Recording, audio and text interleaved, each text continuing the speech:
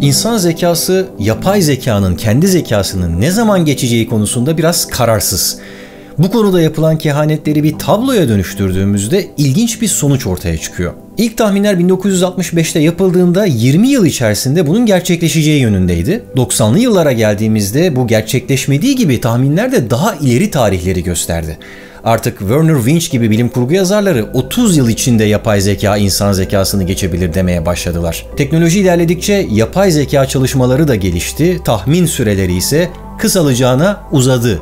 Artık robotik araştırmacıları 45 yıl sonrasına randevu vermeye başladılar. 2000'li yıllara geldiğimizde teknoloji dünyasının en önemli gurularından Moore kanununu da başarıyla ortaya koyan Gordon Moore gibi kişiler bunun asla gerçekleşmeyeceğini söylemeye başladı. Yani yapay zeka ile insan zekası arasında adeta bir oyun oynanıyor. Bu oyunu kim kazanacak? Yapay zeka bir gün insan zekasını geçebilecek mi? Bu soruya doğru cevap verebilmek için önce yapay zekanın ne olduğunu, ondan da önce zekanın ne olduğunu anlamamız gerekmez mi? Çok zeki biri dediğimiz zaman çoğu zaman IQ'su yüksek biri aklımıza gelir. Oysa IQ zekayı ölçmek için kullanılabilecek pek çok yöntemden sadece biri. Bir makinenin ne kadar akıllı olduğunu anlamaya çalışan ilk yöntemi geçen yüzyılda Alan Turing keşfetmişti. Meşhur Turing testinde bir insanın zekasını belirleyen en önemli etkenlerden biri olarak onun dil yeteneklerini seçmişti. Bir perdenin arkasında bir bilgisayar ve bir de insan olduğunu düşünün.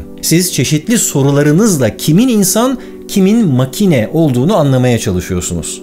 Eğer bilgisayar verdiği cevaplarla sizi bir insan olduğuna ikna edebilirse Turing testinden geçmiş oluyor. Böyle bir şeyi başarabilmesi için hem sizin sorduğu soruları anlayabilme ve hem de cevap verebilmek için bir insan gibi düşünebilme yeteneklerine sahip olması gerekir bilgisayarın. 1950 yılında Alan Turing'in yazdığı bir makaleyle ortaya çıkan bu Turing testi sadece yapay zeka araştırmalarına ışık tutmakla kalmadı, aynı zamanda insan zekasının kullanılarak eğlenceli yarışmalar düzenlenmesine de ilham verdi. 1964 yılında tasarlanan bir yarışma programı o gün bugündür tüm dünyada televizyonlarda oynanmaya, gösterilmeye devam ediyor. Bu yarışmanın bizdeki karşılığı eski adıyla Riziko, yeni adıyla Büyük Risk. 3 kişinin katıldığı ve cevabı doğru soruya dönüştürmeye çalıştığı bu yarışmanın 2011 yılında düzenlenen bir programına iki ünlü dünya şampiyonu davet edildi. Üçüncü yarışmacı ise bir bilgisayardı. IBM Watson. Ve yarışmayı o kazandı. Bir yapay zeka bir oyunda superhuman seviyesine ulaşmıştı. Yani o oyunu dünyadaki tüm insanlardan daha iyi oynar hale gelmişti. Bu seviyeye ulaştığı başka oyunlar da var. En meşhuru da satranç. 80'li yıllardan beri bilgisayar yazılımlarının güçlü satranç oyuncularını yenebildiğini biliyoruz ama ilk kez 1997 yılında superhuman seviyesine ulaşabildi. Dünyanın en iyi satranç oyuncusu Gary Kasparov'u yendi. İnsanın kendi yarattığı bir yapay zekaya karşı yenilgisinin verdiği çaresizliği belki de en çok o anda Kasparov hissetmişti. Yapay zeka yeteneklerini geliştirmeye devam etti ve 2002'de tavla ve 2006'da da Scrabble oyunlarında superhuman seviyesine ulaştı. Kazandıktan sonra bu iş bu kadar. İki Mars bir tokat deyip tavlayı da koltuk altımıza sıkıştırmışsa artık bu iş tamamdır. Yapay zeka bizim seviyemize ulaşmıştır. Şaka bir yana, bütün bu oyunlarda öbür yana bir başka oyun daha var ki onda insanları yenebilmenin çok çok çok zor olduğu düşünülüyor. Dünyanın en eski oyunu bu. Go. Peki neden bu kadar zor olduğu düşünülüyor? Çünkü bu oyun çok soyut bir oyun. Adeta içinde yaşadığımız evrenin sadeleştirilmiş bir versiyonu. Uzay yerine 19'a 19'luk bir yüzey var. Bu yüzeyde beyaz güçlerle siyah güçler sürekli bir mücadele halinde. Taşlarınızla tahtanın üzerindeki bölgeleri kontrol altına almaya çalışıyorsunuz. Karşınızdaki güçleri kuşatırsanız onları bu yüzeyden yani uzaydan yok ediyorsunuz. Oyunun sonunda en çok alanı ele geçiren kişi kazanmış oluyor. Böyle çok basit gibi göründüğüne bakmayın. Başkalarının hayatları da uzaktan bakıldığında öyle görünür ama hayatın aynası gibi olan bu oyunu ancak gerçekten oynamaya başlayınca onun ne kadar karmaşık olduğunu anlıyorsunuz. Satranç oyununda ilk hamle için 20 olasılık ve ikinci hamle için de yine 20 olasılık vardır. Yani bir beyaz, bir siyah hamlesi için toplamda 400 olasılıktan söz ederiz. Go oyununda ise ilk taş yani siyah için 361 olasılık ve ikinci taş yani beyaz için de 360 olasılık vardır. Bu da toplamda 129.960 olasılık anlamına gelir. Hamle çeşitliliği o kadar çoktur ki bir Go oyuncusunun ustalaşma evresi onun ömrünün sonuna kadar sürebilir. Size evrenin sadeleştirilmiş bir versiyonu gibidir dediğimde öyle edebi bir benzetme yapmaya çalışmıyordum. Matematiksel olarak Go tahtasındaki olası konfigürasyonların sayısı evrendeki tüm atomların sayısından daha fazla. Eğer 1997'de Kasparov'u yenen Deep Blue bilgisayarıyla Go oynarsanız bu oyunu yeni öğrenmiş olsanız bile o bilgisayarı rahatlıkla yenebilirsiniz. Çünkü bırakın Deep Blue gibi bir süper bilgisayarı 2019 yılında dünyadaki tüm bilgisayarları çalıştırmaya başlasanız ve onları milyonlarca yıl boyunca çalıştırırsanız dahi Go tahtasındaki olasılıkların tümünü hesaplatamazsınız. Oysa siz oyunu yeni öğrenmiş biri olarak olasılık hesapları yapmak yerine sezgilerinizi kullanabilirsiniz. Dedim ya zekayı öyle tek boyutlu bir şey gibi düşünmemek lazım. İnsanı insan yapan şeylerin birçoğunu biz insanlar bile henüz tam olarak anlayamadık. Usta Go oyuncuları da benzer şeyleri söylüyor. Bir hamleyi yaptıklarında bunu neden öyle yaptıklarını tam olarak açıklayamıyor. Böyle olduğunu, doğru olduğunu hissettiğim için öyle oynadım diyorlar. Dolayısıyla Go oyununu anlamak aslında anlamayı anlamaya çalışmak gibi bir şey. Şimdi tahminlerinizi alalım. Sizce yapay zeka Go oyununda bir insanı ne zaman geçebilir ya da geçebilir mi? Size bu konuda bazı uzman görüşleriyle biraz ipucu da vereyim isterseniz. 1997'de Kasparov'un yenilgisinden sonra fizikçi Piet Hutt, Go oyunundaki ilk insan yenilgisinin ta 2100 yılından sonra gerçekleşebileceğini söylemişti. 2014 yılında bilgisayarda Go yazılımı kodlayan bir bilgisayar programcısı olan Remy Coulomb bu tahmini 2024 yılına kadar geri çekti. Ve onun bu tahmininden sadece 3 yıl sonra 2017'de AlphaGo adlı bir yapay zeka dünyanın en iyi Go oyuncusunu yenerek superhuman seviyesine ulaştı. 2500 yıldan beri oynanan dünyanın bu en eski oyununu dünyada en iyi oynayan zeka 2 yıldır bir insana ait değil. İnsan bir hüzünleniyor değil mi? Boynuz kulağa geçerken acaba daha nerelere kadar uzayacak diye düşünüyor. Bazılarımız kaygı duyuyor, bazılarımızsa acaba başımıza taşlar mı yağacak diye korkuyor. İşte o taşlardan korkmak yerine onları şöyle bir yerli yerine oturtmaya çalışalım. Ne dersiniz? Bu konunun uzmanları yapay zekayı üçe ayırıyor. Şu ana kadar gördüğümüz tüm örnekler aslında dar yapay zeka örnekleri. Sadece belli görevleri yerine getirebiliyor. Evet satrancı dünyadaki en iyi oyuncudan bile daha iyi oynayabiliyor ama Go oynayamıyor. Bunda en iyi hale gelebilmek için başka bir dar yapay zekayı geliştirmek gerekiyor. Şöyle düşünün.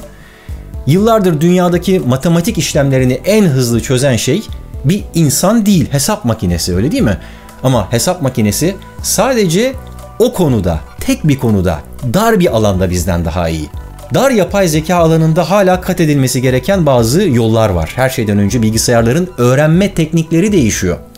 Şu anda bazı oyunlarda hala dünyanın en iyi oyuncuları insanlar desem artık inanmakta güçlük çekersiniz belki ama gerçekten durum böyle. Üstelik ironik bir şekilde bu oyunlar öyle satranç ya da Go gibi antik oyunlar da değil. Basbaya modern bilgisayar oyunları. Evet insan zekasıyla yapay zekanın mücadelesinde insan oyunlarında yapay zeka daha başarılıyken bilgisayar oyunlarında insan zekası daha başarılı. Şimdilik. Tabi bu konuda da gelişmeler yaşanmıyor değil. 2018'de Dota 2 oyununda bilgisayar botları High Human seviyesine ulaştı. Yani dünyadaki pek çok gerçek oyuncudan daha iyi hale geldi. AlphaGo'yu geliştiren DeepMind ekibi ise benim en favori bilgisayar oyunum olan StarCraft 2'ye gözlerini dikmiş durumda. Bu konuda en iyi olabilmek için AlphaStar diye bir yapay zeka üzerinde çalışıyorlar şu anda. İçinde bulunduğumuz 2019 yılı itibariyle AlphaStar dünyanın en güçlü StarCraft 2 oyuncularından bazılarını yenmeyi başardı ve böylelikle High Human seviyesine ulaştı. Şu anda bu oyunculardan biri olan Mana ile AlphaStar arasında 24 Ocak 2019'da oynanan bir oyunu izliyorsunuz. bir anlamda yeni Turing testine bakıyorsunuz. Çünkü böyle bir oyunda yapay zekanın insan zekasını alt edebilmesi için daha 40 fırın ekmek yemesi gerekiyor.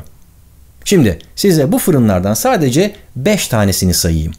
1. Oyun teorisi. Taş, kağıt, makas oyununu biliyorsunuz değil mi? Bu oyunu kazanmak için tek bir strateji yoktur. İşte StarCraft oyunu da böyle. Yapay zekanın sürekli stratejik bilgi toplayarak kendini geliştirmesi gerekiyor başarılı olabilmesi için. 2. Kesin olmayan bilgi. Satranç ve Go gibi oyunlar kesin bilgiye dayalıdır. Oyuncular tahta üzerindeki her şeyi görürler ve bu konuda bilgi sahibidirler. Oysa StarCraft gibi oyunlar kesin olmayan bilgiler de içerir. O haritaları hatırlayın. O yüzden de sürekli keşif yapmayı gerektirir. 3. Uzun vadeli planlama. Gerçek hayatta olduğu gibi bu oyunda da sebeple sonuç arasındaki ilişki anlık değildir. Uzun vadeli planlama yeteneklerini geliştirmek gerekir. 4. Gerçek zaman. Yine tahta üzerinde sırayla oynanan oyunlardan farklı olarak StarCraft gerçek zamanlı bir strateji oyunu. Oyuncuların aynı anda ve sürekli olarak hamle yapması gerekiyor kazanabilmek için. 5. Geniş mekan. Satrançta 64, Go'da da 361 mekansal nokta var. StarCraft'ta ise yüzlerce noktada pek çok farklı binayı, nesneyi aynı anda kontrol etmeniz gerekiyor. Ayrıca yapılan eylemler de öyle bir taşı oynatmak kadar basit değil. Hiyerarşik ve tek tip olmayan eylemler yapabiliyorsunuz StarCraft'ta. İşte bu ve benzeri sebeplerden dolayı StarCraft oyunu yapay zeka araştırmaları için aşılması gereken yeni ve en büyük engellerden biri olarak görünüyor. Bu engeli aşabilmek için de DeepMind ekibinden araştırma yöneticisi Koray Kavukçuoğlu Reinforcement Learning yani pekiştirmeli öğrenme tekniklerini geliştirmeye çalıştıklarını söylüyor. DM Lab olarak tanımladıkları bir sanal ortamda dil, hafıza, yön bulma gibi 30 farklı bilişsel yetenek üzerinde çalışıyorlar. Gördünüz mü zekanın hep farklı detaylarından, farklı boyutlarından bahsediyoruz. Bunları bir bütün olarak birleştirmeyi başardığımızda yapay zekanın da ikinci türüne ulaşmış olacağız. Genel yapay zekaya yani Artificial General Intelligence kısaca AGI. Peki ne zaman ulaşacağız o noktaya? Videonun başında alıntıladığım Herbert A. Simon'a göre 1985'te filan ulaşmalıydık.